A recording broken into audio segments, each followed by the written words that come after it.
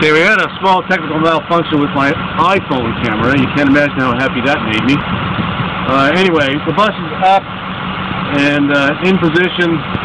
The uh, when we push the jacks down, uh, the auto jacks down button, it spun up to 2,700 pounds.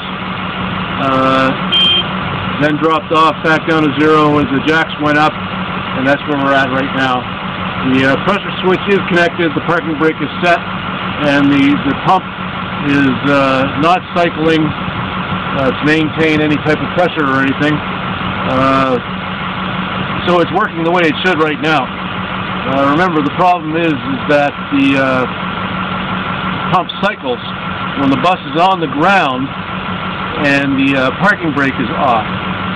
So now I'm going to get my wife to lower the the bus. Go ahead, lower.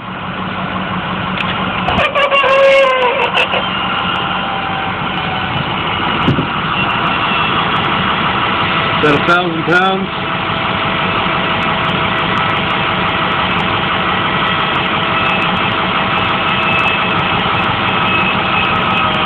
And it's up to 2,700 pounds now, and the jack should be just about home.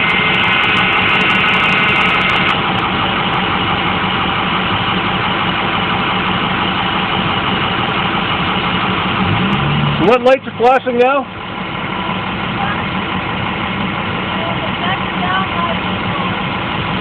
So now, despite the fact that the jacks are up and, and stowed, the uh, jacks down uh, light is still flashing.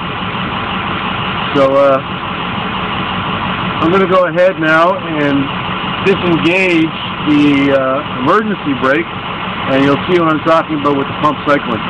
Go ahead and pull the emergency brake.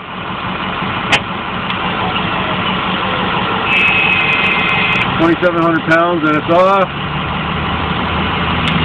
And she's, she's spun up again. Huh? Yeah.